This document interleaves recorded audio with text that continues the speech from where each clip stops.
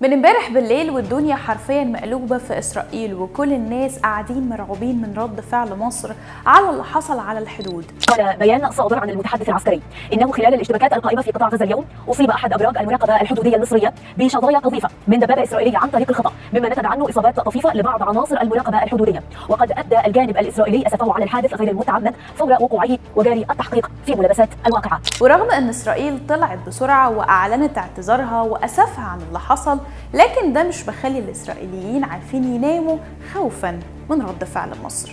واللي زود من خوف وحيرة شعب إسرائيل إن بيان المتحدث العسكري المصري نقل الأسف الإسرائيلي لكن ما جابش سيرة قبول الاعتذار من عدمه وأكد إن السلطات المصرية بتحقق في ملابسات الواقع بانكير نبض البنوك. الإسرائيليين عارفين كويس موقف الرئيس السيسي من العدوان على غزة وعارفين أن مصر مؤيدة وداعمة لحقوق الشعب الفلسطيني في الدفاع عن أراضيه ضد الكيان المحتل. ومصر أعلنت ده بوضوح للعالم كله. إن مصر منذ اللحظة الأولى انخرطت في جهود مضنية. أناء الليل وأطراف النهار لتنسيق وإرسال المساعدات الإنسانية إلى المحاصرين في غزة. لم تغلق معبر رفح البري في أي لحظة. إلا أن القصف الإسرائيلي المتكرر لجانبه الفلسطيني حال دون عمله. وعشان كده إسرائيل ما بتعملش حساب لأي دولة غير لمصر. وأجهزة الاستخبارات الإسرائيلية ومراكز الأبحاث هناك بتركز كل شغلها على مصر وعلى أي تحرك أو قرار يصدره السيسي.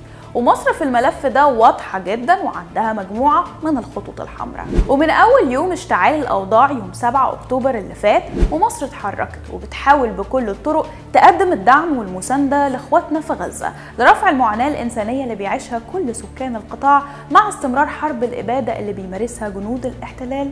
كل يوم. ولما إسرائيل رفضت تدخل المساعدات الإنسانية لقطاع غزة مصر كمان ربطت فتح المعبر وإخراج حاملي الجنسية الأمريكية إلا بعد إدخال المساعدات.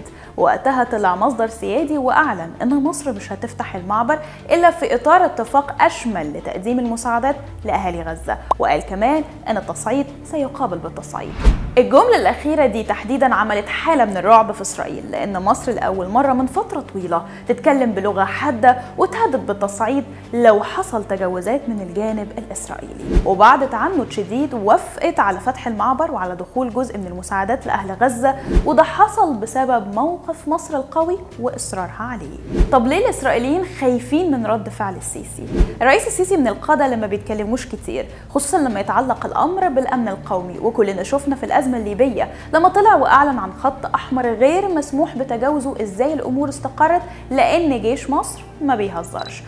إنما إذا كان يعتقد البعض أنه يستطيع أن يتجاوز الخط سرت الجفرة ده أمر بالنسبة لنا خط أحمر.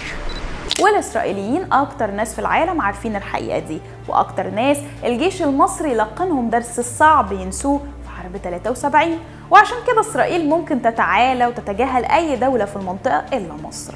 وعدد كبير من مراكز الأبحاث الإسرائيلية بدأوا يتكلموا عن خطورة اللي حصل من الجانب الإسرائيلي وطالبوا بمنع استفزاز مصر بأي شكل من الأشكال. وحذروا القيادات عندهم من رد فعل مصر على أي تصعيد خصوصا إن الرئيس السيسي ما بيهزرش. أنا اشرفت أشرف وإلى اللقاء.